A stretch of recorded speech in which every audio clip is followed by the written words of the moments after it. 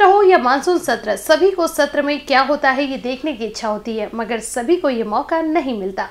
मगर इस साल कुछ छात्रों को विधानसभा और विधान परिषद का कार्यकाल, साथ ही कामकाज कैसे चलता है, ये सीखने का और देखने का मौका मिला है। ऐसे ही कुछ छात्र मंगलवार को यानी शीत सत्र के दूसरे दिन विधान भवन पहुँचे थे। इन छात्रों के साथ महाराष्ट्र के मुख्यमंत्री एकनाथ शिंदे उप मुख्यमंत्री देवेंद्र फडणवीस उपस्थित थे।